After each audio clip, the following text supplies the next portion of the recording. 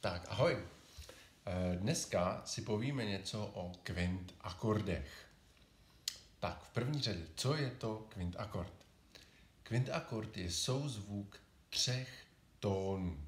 Buď to harmonicky, to znamená, že všechny tři zní najednou, anebo melodicky, to znamená, že rozložíme, zahrajeme jeden za druhým. Eh, v tom případě už to není úplně souzvuk, ale jsou to pořád tři tóny, které tvoří nějaký kvint akord. Tak, kvint akord teda, jak už jsem řekl, má ty tóny tři. Eh, A existují čtyři základní druhy kvint akordů. Jsou to durový, molový, zvětšený a zmenšený. Tak pojďme se podívat, eh, jak vypadají a jak je poznáme.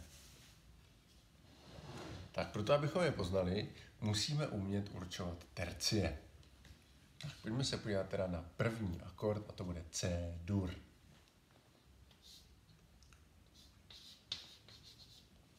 Tak. Protože se jmenuje C dur, tak jeho základním tónem je tón C. U kvint akordu je tenhle tón ten nejhlubší. Pak máme terci toho akordu, což je tón E. A pak máme kvintu toho akordu, což je tón G. Takže C dur jsou tóny C, E, G. Proč pak je durový? Je durový proto, že první tercie, čili vzdálenost mezi spodním a prostředním tónem, je velká. A ta druhá tercie je malá. Takže pokud je to velká a malá tercie, tak je ten akord durový. Kdybychom se zabývali tady tou kvintou, tak ta nám vyjde, že je čistá, čistá kvinta. CG. Aha. Tak, no a to je dur, velká a malá tercie. Molový ten to má naopak. Tam je nejdřív malá a potom velká.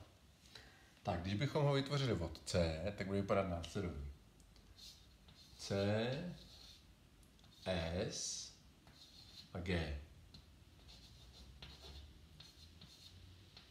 Tak, tenhle ten konkrétně by byl C mol a tuhle tercí má malou a tuhle tercí má, jak už jsem říkal, velkou.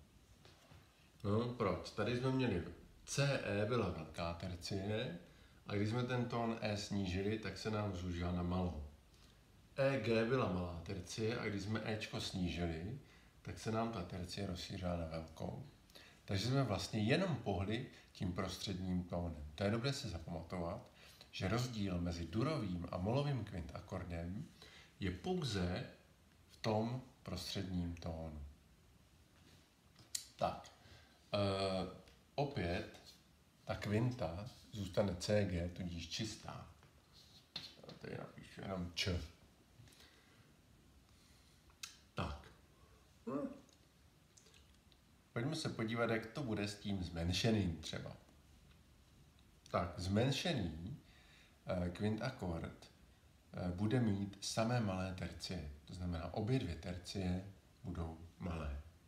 Když bychom to dělali od C, tak tercie od C je E, ta je velká, a S bude malá. Takže CS je malá tercie. A teď ještě vytvořit malou terci od S, to bude GES. Malá tercie. To znamená zmenšený kvint akord bude C, S, GES. Všimněme si, že ta kvinta bude teďka C, GES a bude zmenšená. Zmenšená kvinta. Proto taky zmenšený kvint akord. Tak, no a poslední bude zvětšený. A když ho vytvoříme od C, tak bude C, pak bude mít velkou terci, což je E. A pak bude mít taky velkou terci, což velká tercie od E je gis. Takže C, E, gis. Všimněme si, že ta kvinta bude zvětšená. A náš akord bude taky zvětšený.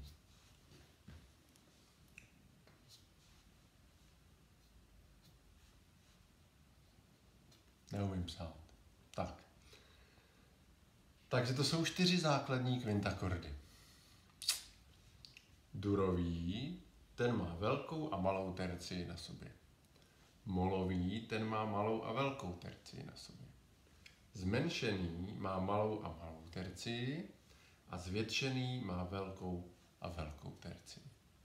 No a tak jednoduchý to je, takže pokud umíte tercie, tak teď už určitě umíte určit jakýkoliv kvint akord. Pojďme se třeba podívat, pokud si to chcete vyfotit, tak teď, cvak.